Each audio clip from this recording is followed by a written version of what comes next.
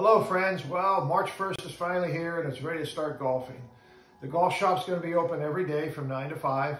The golf course will be able to open up shortly. We just need to get a few warm days and a couple warm nights to get that frost out of the ground, just so it doesn't do any damage to the greens when we start playing.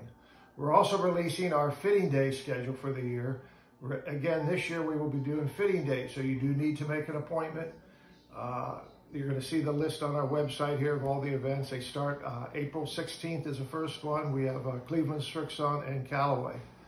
The idea with fitting days is it gives a, it's better for you, the customer. You get more personalized attention. You don't have 20 or 30 people wandering around bothering you. And for us, for the fitters, it gives us a little more attention to help you out to get the right equipment in your hands. So uh, it won't be long. We'll see you on the golf course. Be sure and stop out to the golf shop. Thanks.